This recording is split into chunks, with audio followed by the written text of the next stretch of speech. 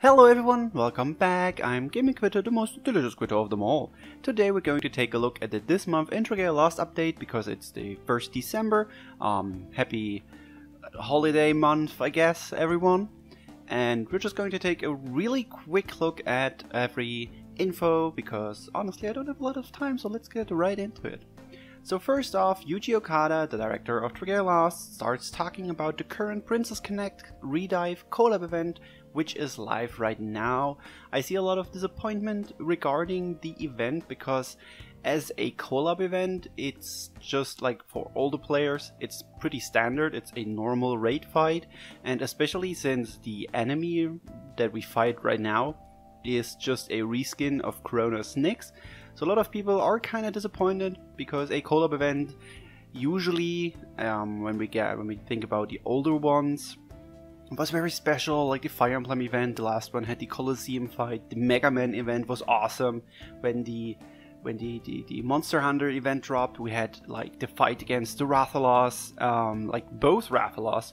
So this one feels kind of slow or not slow I, I don't know it's it's just it's not as a big wham like the other uh, events were, but we still got some nice, cool units, I guess. Uh, I personally, I don't dislike the event. I really like the story so far. It's cute, and I, I guess I see why people are a bit disappointed because the attack patterns apparently is also the same. Um, but maybe we'll get something else in the future. We don't have the nightmare fight. I don't know if we can take a look at the Omega fight yet. I haven't looked at the, the wiki yet, to be honest, but yeah, okay, I'm talking too long about the current event, um, but it's just my insight. I liked it. If you are interested in what I I think about the event, I liked it. It's it's a cute event, um, but I do understand that it's not something exciting. I guess maybe they just wanna because all of the units are permanent. Maybe they just wanted to. Maybe that's the reason why they didn't want to go all out and just make it a normal event. But yeah. Um, Pecorine is one of the is the only character that we get from Princess Connect as a summonable or playable unit, um, but they put a lot of detail into her.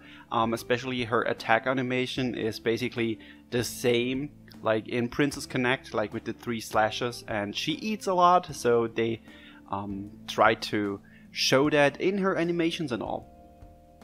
So uh, yes, uh, very important note: she's not limited, and let's go on.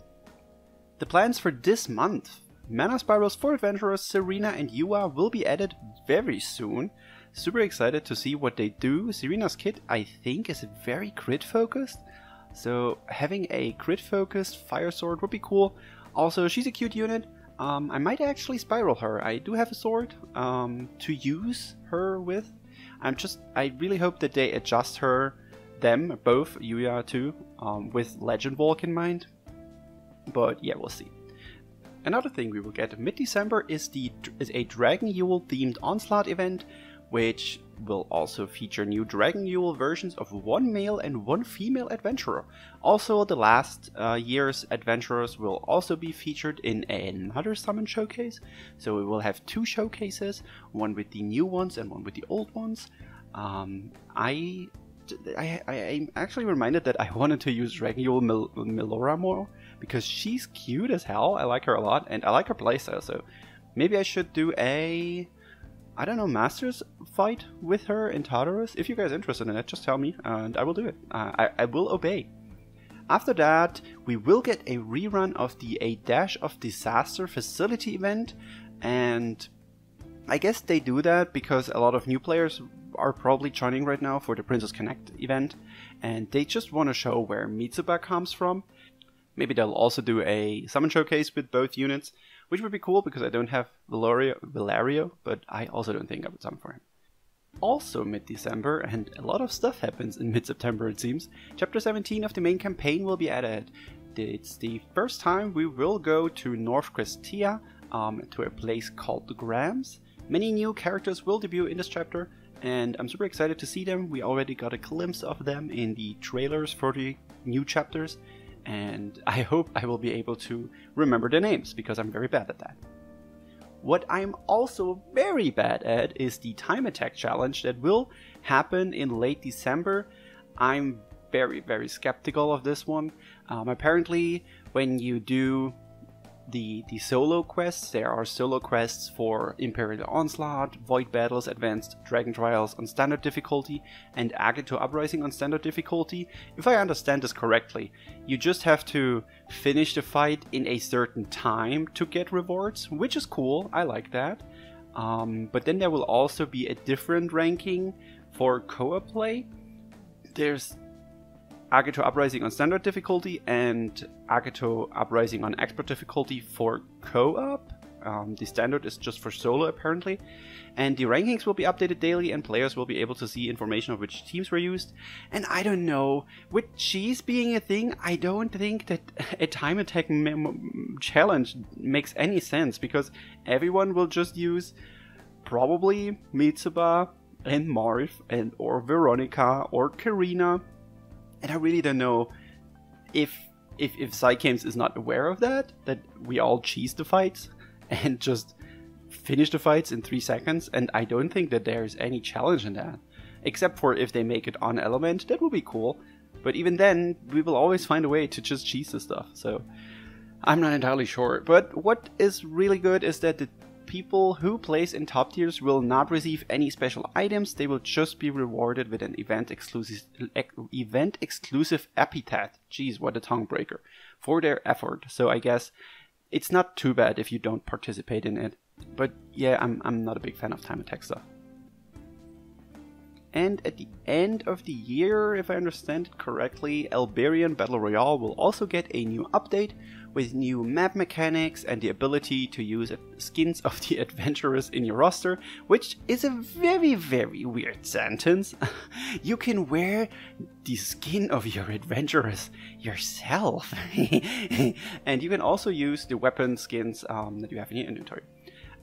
It's just that you apparently cannot unlock all adventurer skins. It says that please note there's skins for some, but not all adventurers can be unlocked with certain items or traded for in the treasure trade.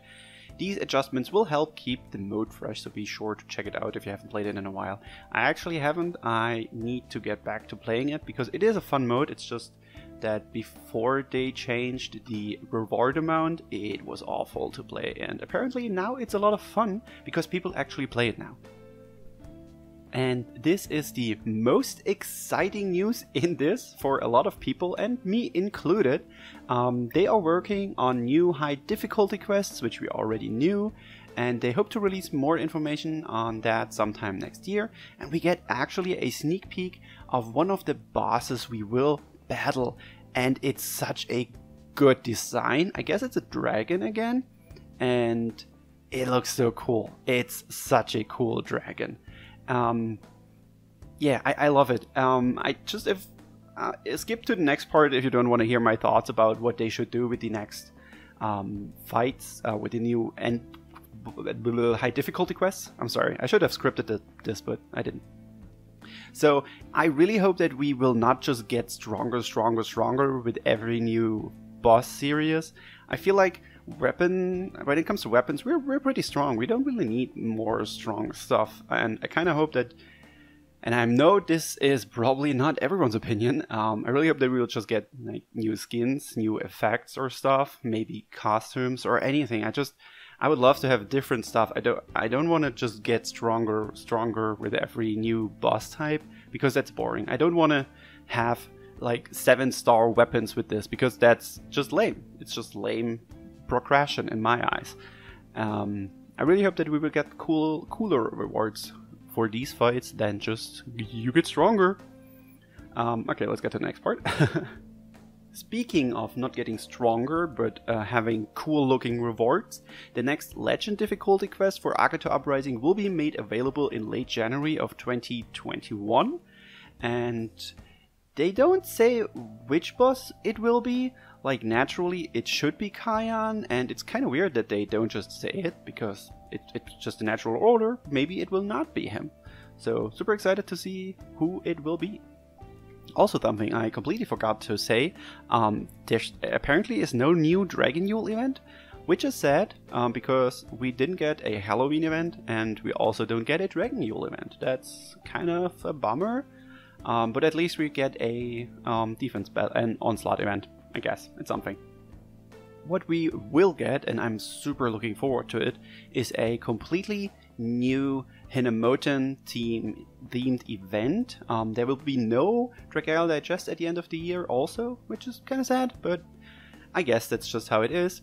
Um, we still will get Lucky Letter Raffle and Login bonus, and actually, Yuji Okada says that this event will not be like the others. It will have a slightly different atmosphere and will shine a light on those who would oppose the 12 Wyrm clans rather than work with them.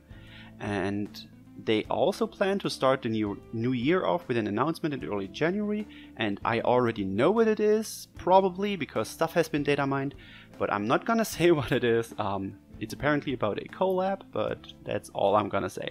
If you want to know what it is about, you can just go to Reddit or whatever and uh, you will find the infos. And that's it. Uh, we all got a tenfold summon voucher, and I just want to read Yuji Okada's words um, in the in conclusion part because I feel like this is just a sweet thing he writes. So he says.